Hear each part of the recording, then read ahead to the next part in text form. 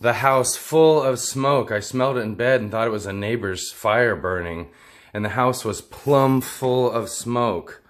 Uh, God, it's so thick in here right now. And uh, not one fire alarm went off. Not one. Even the one plugged in in the hallway, which has full power all the time. This is freaking scary. So I put an incense stick in uh, a plant last night. And this is the result. It was in this dirt and it actually started a fire somehow out of the dirt and just smoldered in this plant all night long, burning it up. It's unbelievable. I guess it's a miracle it didn't burn the house down any longer. It was on its way down to the carpet. Uh, holy cow. All right, smoke detectors, right away.